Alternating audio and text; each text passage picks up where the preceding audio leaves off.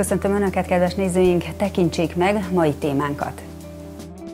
Hogyan kerülhetett Európa ilyen helyzetbe? Mit hozhat, mivel járhat az óriási bevándorlási hullám a kontinensünkön? Változásra, változtatásra kényszerül Európa társadalmi, gazdasági, kulturális téren? Migráció, multikulturalizmus, erről beszélgettünk műsorunkban.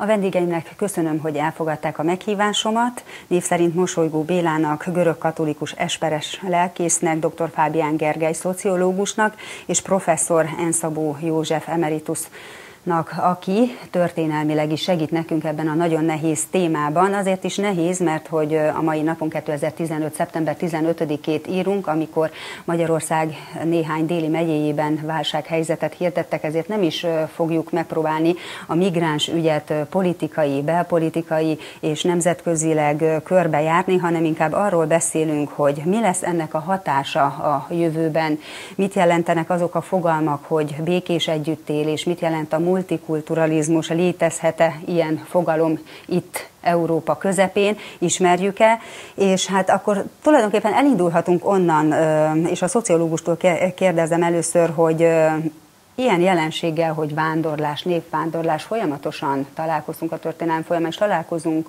mai nap is, mindig megfigyelhető, akár Európán belül is egy keletről nyugatra való mozgás. Ez most milyen jellegű, ez a tömeges vándorlás?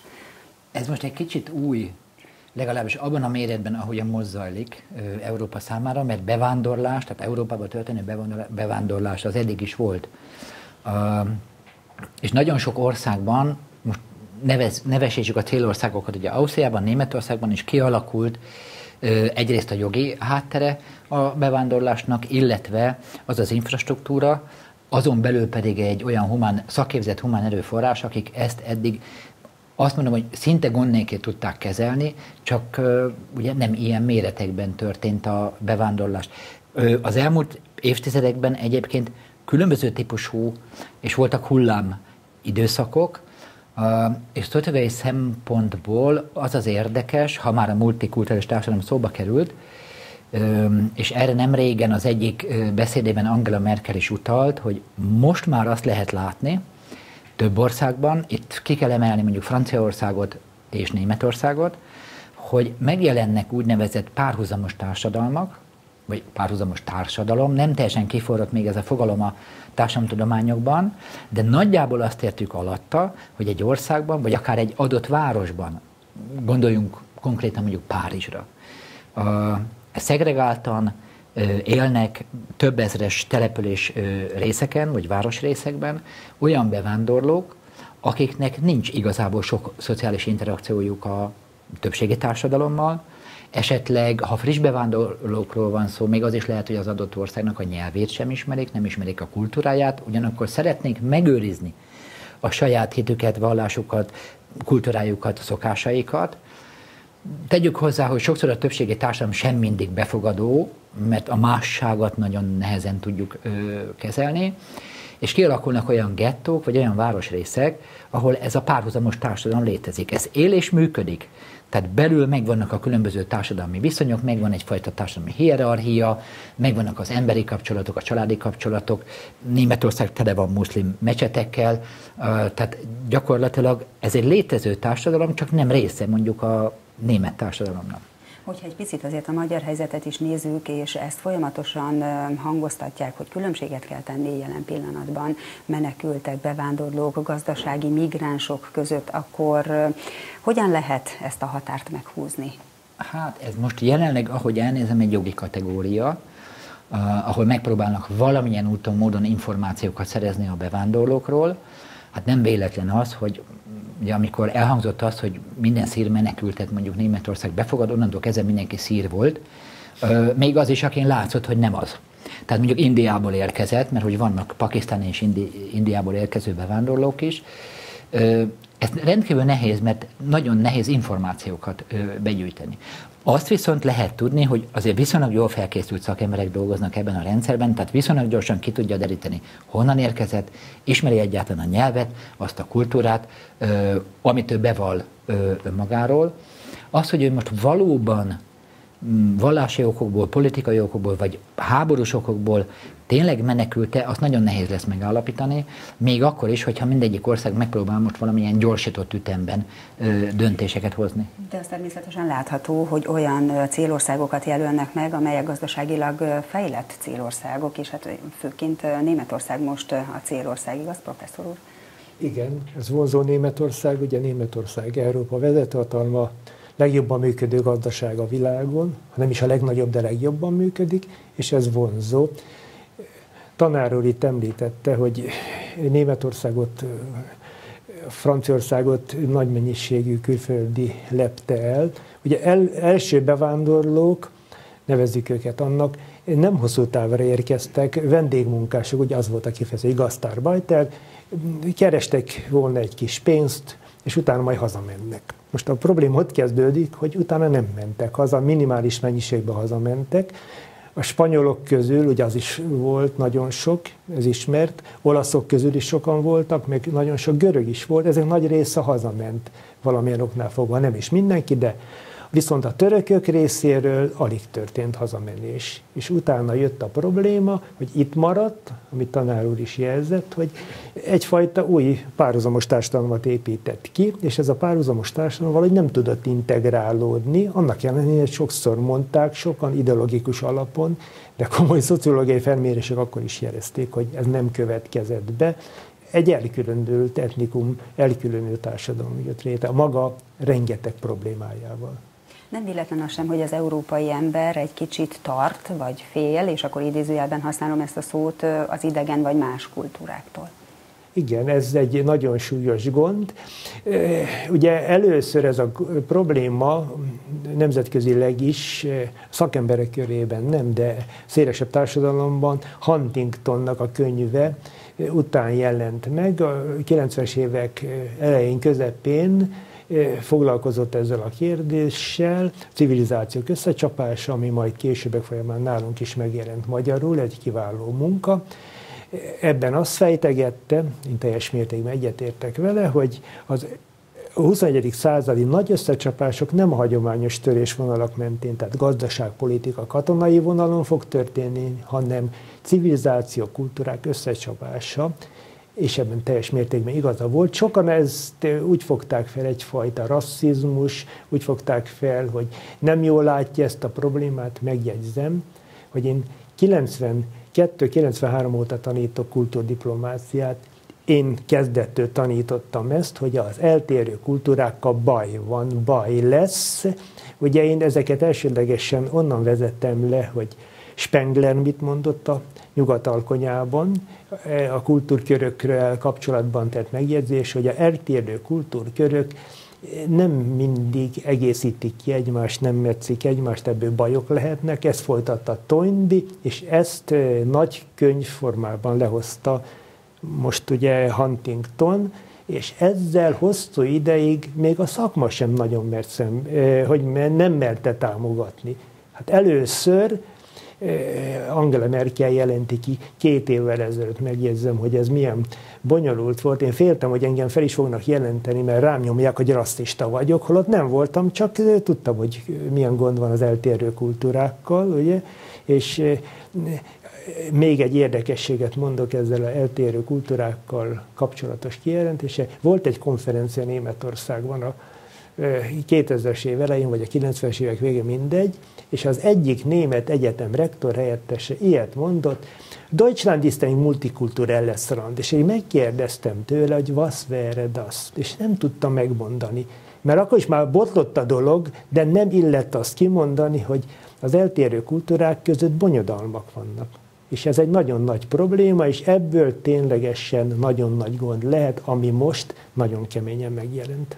Még mindig egy picit, hogyha megnézzük azt, hogy multikulturalizmus mikor jelent meg először úgy igazán a történelemben, és hát lehet, hogy nem is ezen a kontinensen jött elő a kérdés, amikor vagy kényszerűségből, vagy más szituációk miatt, de többféle, nem is kétféle, hanem többféle kultúrának egy közösségben kellett élnie, és közelítenie egymáshoz. Sikerülhet-e ez a közelítés? Hát most és akkor majd a vallásról is beszélünk természetesen, mert amikor keresztény emberekről vagy nemzetekről van szó, akkor lehet, hogy könnyebben megy.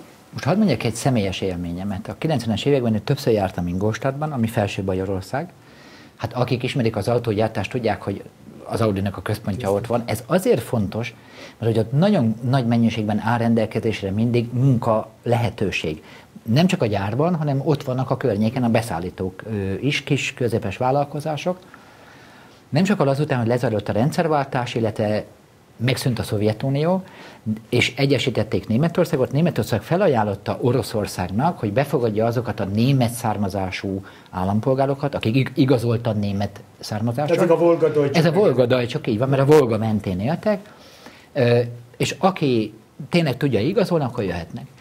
Egy nagy részük ment, többfelé telepítették le őket Németország, nagy részük ment Ingolsta, pont azért, mert hogy ott komoly munkaerő hiány van tulajdonképpen folyamatosan. Nos, mi történt? Építettek nekik egy nagy lakótelepet, ez hasonló, mint nálunk az Örökösföld, vagy a Józsefvár, nem akkor a méretben, nyilvánvalóan. És akkor a következő történt. Kiderült, hogy igaz, hogy német származásúak, de egy szót nem beszélnek németül, a nagyja legalábbis nem rendelkeznek megfelelő szakképesítéssel, a nagyja legalábbis, tehát nem tudja a gyár se a beszállító elhelyezni, csak azután, hogyha valamilyen nagyon komoly képzésen viszik keresztül őket, a képzéshez viszont a nyelvet is tudni kellene. Másrészt a többségi társadalom nem nagyon örült nekik. Ezt onnan lehetett tudni, hogy ahogy voltak a, mondjuk hogy a benszülött lakások és házak, és mellette a, az új lakótelep, ahová kizárólag oroszokat telepítettek be, Közötte volt egy nagy homokdomb, ami az építkezésből maradt ott, némi törmelékkel, és amikor megjelentek a munkagépek, hogy azt ott eltüntessék, akkor az összes német lakó kijött és tüntetett, hogy azt ne tessenek onnan elvinni, nem is merték egy idő után, tehát elvonultak egy gépek, és akkor van egy hatalmas domba, ami ma már nagyon szépen néz ki, mert tele van fűvel, fával, virágokkal. Az ott lakók hétvégén még építgetik is, hogy még csak ne is lássák azokat a szomszédokat, akik egyébként olyan 15-20 méterre laknak tőlük, és semmiféle keveredés ne legyen a ö, kettő ö, között. Tehát amikor a mostani menekült válságról beszélünk, és visszacsatlakoznánk ide, az, hogy ez valahol egy kicsit azt mondom, hogy egyfajta ideológiai válság is, mert Európa kijelentette önmagáról, hogy mi egy multikulturális társadalom vagyunk, amit ugyan nem tudnak definiálni, de hogy mi egy befogadó, toleráns, többféle kultúrát összeolvasztó tégely vagyunk, ezt olyan New Yorkra szokták mondani, de alapvetően Európa átvette, átvette ezt a gondolatot, csak ez a gyakorlatban nem működik, vagy nagyon kivételes esetekben működik.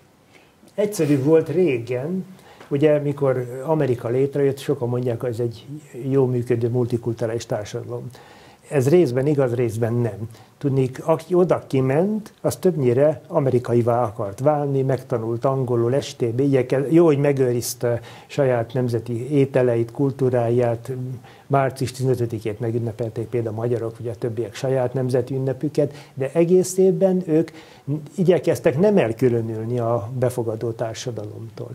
A afroamerikaiaknál más volt a helyzet, azokat erőszakkal odavitték, és azokat is valahogy rákényszerítették, hogy amerikaiakká válnak. Minden afroamerikai megtanult angolul rendesen, minden. most ott is jön a gond, a, a latinok. A latinok, akik már később kerültek be, az már szó rossz értelmében vett multikulturalizmus, ezek elkülönülnek, nem hajlandók megtanulni angolul, teljesen nevetséges, a latinok 60%-a semmit nem tud angolul, ez egy nagyon nagy baj lesz. Egyes jelzések szerint 50 körül a déli államokban 80% is lehet latin. Most tessék elképzelni, milyen bajok lesznek ebből. Sőt, a beszélt nyelv is romlik ezeken a területeken. Igen, és, és úgymond a, a régi hagyományos amerikai, ugye angol, sax, ugye, protestant és angol szaksz az eltűnőben van, és jönnek fel ezek a rosszul értelmezett latinok, és ebből nagy bajok lesznek.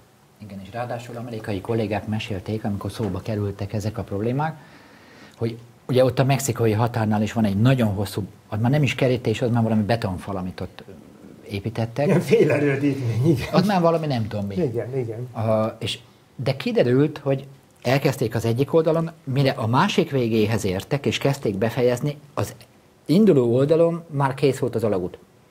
Tehát ott pillanatok alatt talált olyan munkaerőt a, az embercsempész, hogy az ott is komoly üzlet, hogy mire azt mondták, hogy kész van a kerítés, és akkor most innentől kezdve senki nem fog bejönni, már mentek át az alagútokon keresztül, mert egy komoly alagútrendszert építettek ki. Tehát nem tudták meggátolni ilyen módon a bevándorlást. Az igaz, hogy sokszor New Yorkot szoktunk úgy tekinteni, mint ilyen olvasztó tégely, így is vár, hívják a várost, ahol valóban képesek együtt élni, különböző kultúráknak a képviselői, de New Yorknak ez az egész történelme így ö, alakult. Ö, másik, az Egyesült Államok más részei viszont teljesen más. Ők maguk is azt mondják, hogy New York az nem Amerika, vagy nem Egyesült Államok. Az valami külön bolygó. Az Egyesült Államok az egy másik történet. Azt mondják, hogy kozmopolita központ, igen, így mondják. Ugye ebben a témában nagyon nehéz az egyháznak is megszólalni, mert hát az egyik oldalon ott van az elfogadás, befogadás képessége, a vallás az egyház részéről, a másik oldalon pedig mégiscsak ott van az a kérdés, ami ott lebeg a levegőben, hogy hogyan valósítható meg majd ezeknek a bevándorlóknak az integrációja. Igen. Én 1981-ben hodászon kezdtem a pastorációs munkát, illetve ott folytattam a papi életemben, már előzőleg Budapesten voltam, és ott tapasztaltam meg azt, amit elődöm Sólyom Miklós atya 40 éven keresztül gyakorolt, hogy a cigányoknak az integrálása az nem könnyű feladat és 40 éves munkájának az eredménye azonban az volt, hogy, hogy a odászi cigány emberek mm, a építőiparban dolgoztak Budapesten, és följártak Budapestre dolgozni. Aztán az óvodának a, a létesítése nagyon fontos dolog volt, nagyon fontos esemény. A cigány gyerekeket akik 3-4-5 e, évesek voltak, meg kellett tanítani magyarul. Tehát e, az óvodának ez volt a feladata, hogy őket bevezesse a közösségbe. Az integrálás, a cigányoknak az integrálása, az a katolikus egyház részéről elsősorban a valláson keresztül történik, vagy történt és történik is mind a mai napig.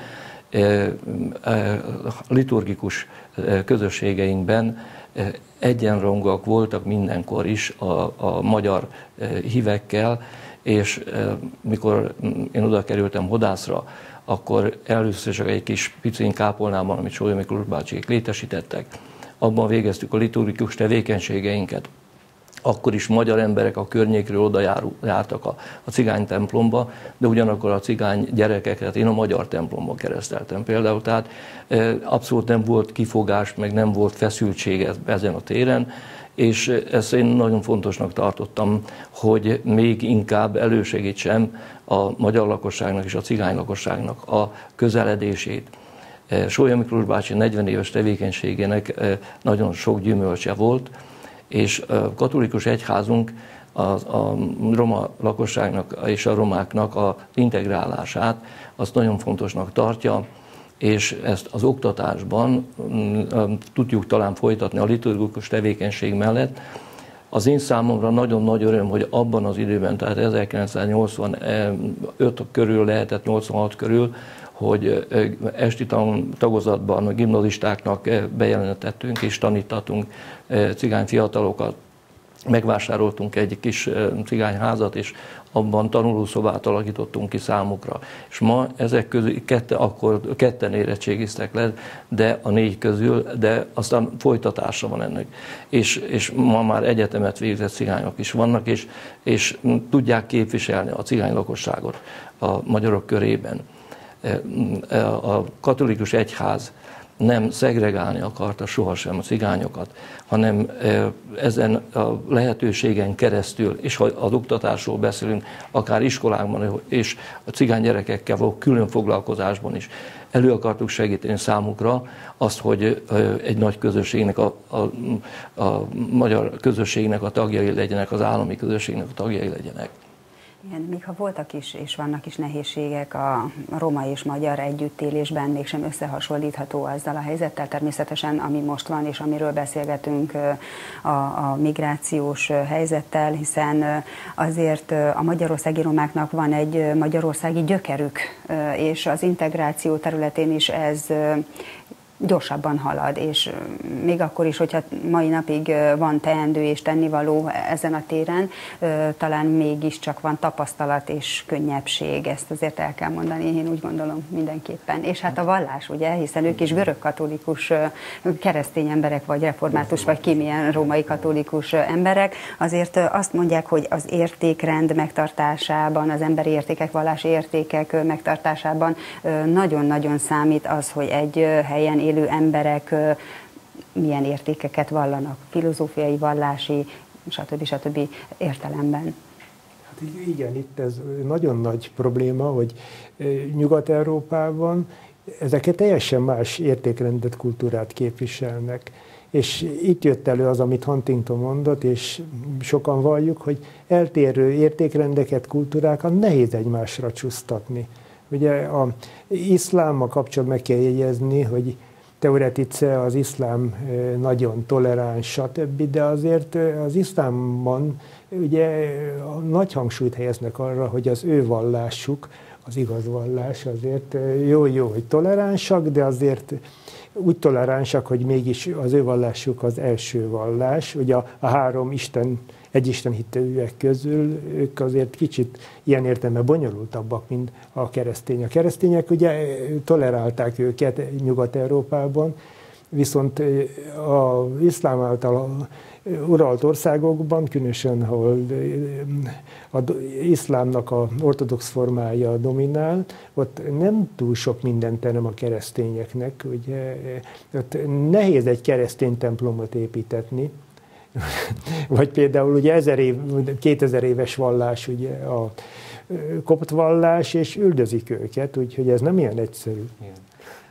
A, a cigányoknak a beilleszkedése a különböző kultúrákban és különböző adottságú országokban más és más.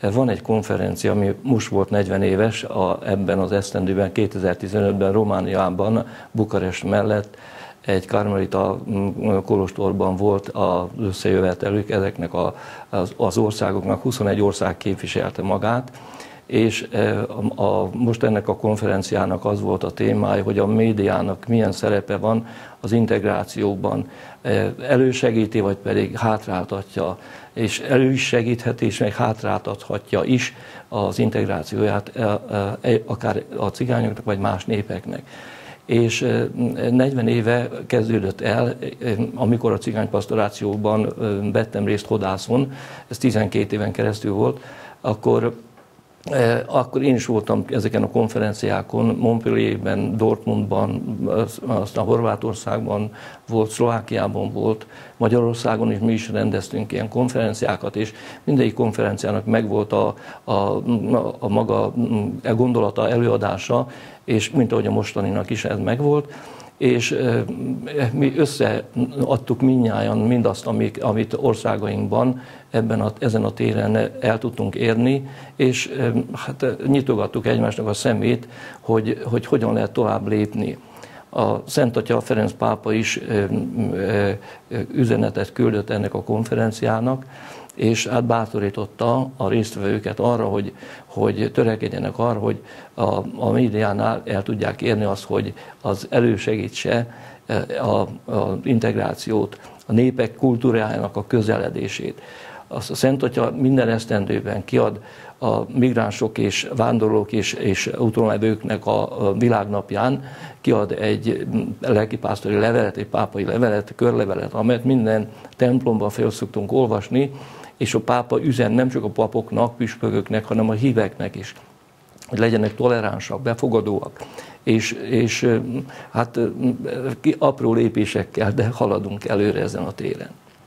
Gyengülhet-e a nemzeti identitás nemzetiségi vallási értelemben akkor, hogyha heterogén összetételűvé válik egy országban a társadalom, a lakosság? Abban az esetben, de ezt nem tudjuk most, lehetnek ilyen jellegű kulturális problémák, ha a bevándor, és ugye most már nagyon sokan vannak, csak Németország most valami 800 ezer, vagy közel 1 millió fővel számol az év végéig, nem is óhajtanak integrálódni. Tehát egyszerűen még szándék sincs meg bennük, mert nem, nem tudjuk, hogy milyen attitűddel és hogyan érkeznek, pláne ilyen típusú tömegben, akkor vagy kiépülnek ezek az úgynevezett már említett párhuzamos társadalmak, vagy komoly konfliktusok lesznek a többségi társadalommal. Abban az esetben, ha, mert Európa most nagyon tanástalan, ilyen tömeggel még nem találkoztak, és nem tudják, hogy mit lehet kezdeni. Ha mégis lesz valami fajta kvótarendszer, és szétosztják őket, akkor azt mondom, hogy van lehetőség arra, hogy beilleszkedjenek, de nem fognak ott maradni, ahova küldik őket.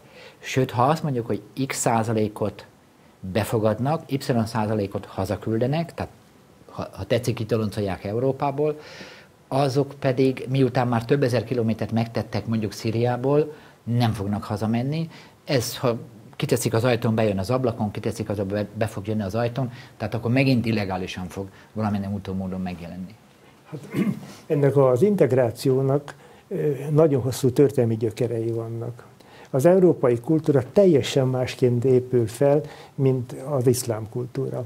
Az európai kultúra átment egy bizonyos fejlődési szakaszon, ugye alapjait úgy szoktuk mondani, zsidó, keresztény gyökerek, antikvitás, stb. mind benne van. Most ez jönnek azok a dolgok, amik ő belőlük, ezekből a bevándorlókból teljesen hiányozik. Például eh, a mi népünk, meg, meg Európa ugye átment a román korstíluson, átment a gótikán, átment a reneszánszon, humanizmus, utána jött a reformáció, utána a, barokk, mindenen átment, önálluk ez nincs. Ez alatt Európában kialakult egy demokrácia, demokrácia mentalitás. Önállók ez teljesen hiányzik. Ezekre a népekre ezt nehéz rányomni, még európai kultúrán belül is például ugye az orosznál is vannak gondok, hogy az oroszok is nehezebben tudnak itt-ott integrálódni, mert ő belülük is hiányzik a demokrácia iskolájának végigjárása. Ugye nálunk sokat segített, hogy